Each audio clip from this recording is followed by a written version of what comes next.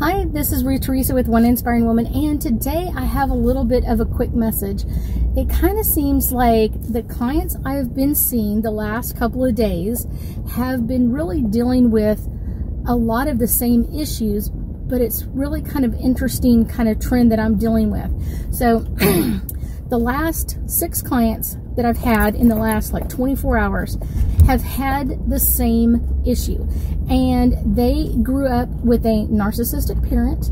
Um, usually there is some type of um, emotional abuse, if not other abuse as well going on at the same time. But the emotional abuse, usually from a narcissistic, is so that they are staying in control. You stay off um, kind of kilter or off balance with you, and then um, the narcissistic person kind of keeps winning over and over again because you're kind of always off balance. And um, all six of the clients also have psychic abilities. And I will say that one of the interesting psychic abilities that they have is that they all are really strong clairsensitives. And I will tell you more than anything else, that is something that um, clairsensitives deal with is narciss narcissistic people will kind of like seek them out. If they're not in their family, they will seek them out because narcissistic people um, want to be out of balance and the clairsensitive wants to be in balance. I want to be in peaceful calmness, not overwhelmed, not kind of crazy, that sort of thing. But it's one of those, if it's not in your family and it's a friend, usually you can kind of get away from them at a point. the problem is though, if they're in your family, you really don't get a break. And where you would normally have kind of like your sanctuary or your time away, or I can take a break from this person for a little bit, um, when they're your parent, you really don't get to do that. Um, and it can be really overwhelming. I think that is really the hardest part that clairsensitives deal with is they can draw them in as friends and family, um, but when it's family, there's no break. You know what I'm saying? It's like we all go on vacation together. We all do this together. And that is kind of like the crazy hard part um, for them to deal with. So I often tell my clairsensitives, you want to keep your energy as pristine and cleared off as you possibly can during this time frame as you kind of work through this. Um, and this really starts um, in an interesting way is they're always kind of being tormented or tortured or um, emotionally kind of bombarded with the narcissistic's unbalanced energy. And that's what sets the um, the clairsensitive off is that they're looking for that balance. They're looking for that calmness, that peacefulness, and they're just not getting it. Um, in as much as they really need it.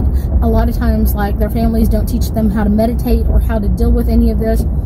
Because if it's in your family, everybody's dealing with that same narcissistic person, and um, usually you'll have one person that's kind of like almost like a narcissistic assistant of energy of like we want to make mom calm or we want to make dad calm and we want to do whatever it takes to calm him down. So don't fuss, fight, argue, anything else and that that kind of just blows um, you know any time of setting your own healthy boundaries or i don't want to do this or being able to voice what you really want or don't want out of your life so much because that narcissistic personality is just kind of keep rolling at you.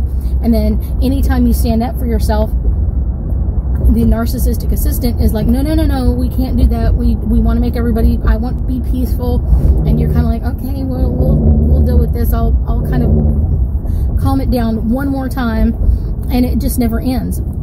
It's this constant cycle of dealing with this narcissistic personality over and over and over and over again, and it just never seems to end. So, one of the things that's also really important to understand is this is really happening on our planet now. That narcissistic people are not able to hide. And that's a really good thing because it's kind of like getting out there more and more.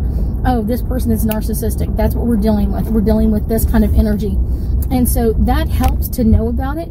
But it's one of those kind of the crazy part for the clairsensitive is they're not able to hide um, their hurt anymore. They're not able to hide the stuff that they've been through, the the emotional um, issues or problems that they've dealt with since this narcissistic personality came into their life, it's like this constant cycle of this is kind of coming to a close and they have to kind of learn how to um, deal with life differently at an advanced age. It's like, okay, I thought this is the way life went, and now I'm realizing it's not, and I need to flip everything that I know, every piece of information I've learned how to deal with in my life. I'm realizing that that is changing 100%. So it's kind of like, oh my gosh, this is overwhelming this is not normal for me. This is not a, a, normal way that I want to learn how to do this at an advanced age. So it's kind of like, it's not like, oh, I'm um, able to change.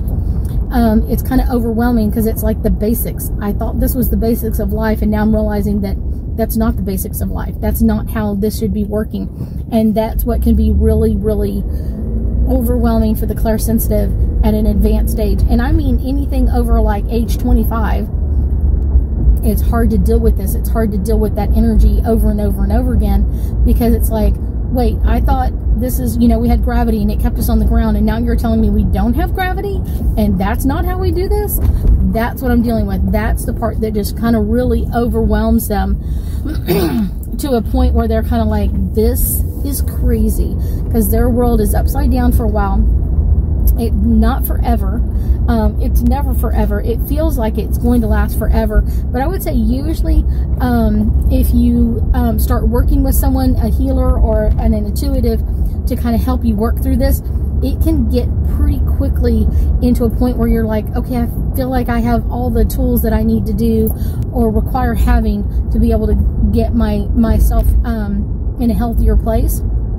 That's the best because like I said, it's kind of flipping your whole world from what you thought you knew how to do or deal with into something that you don't know how to deal with and you don't know how to deal with any of this and you're kind of having to learn everything all over again. That can be a little overwhelming. So if you are um, a, I want to say like, I guess the best word is victim, of a narcissistic personality, either in your friend zone or your family zone, um, make sure that you're reaching out for help. Make sure that you're reaching out for someone who can assist you to give you some guidance and some other help um, dealing with life. This can be really, really um, easy for you. It can be really healthy. It can be really helpful to have someone else's insight into what's going on in and around your life and hopefully find someone who can help you work through this um, until you're kind of um, able to do it on your own. I thank you so much for joining me today, and I know that we'll be talking again soon.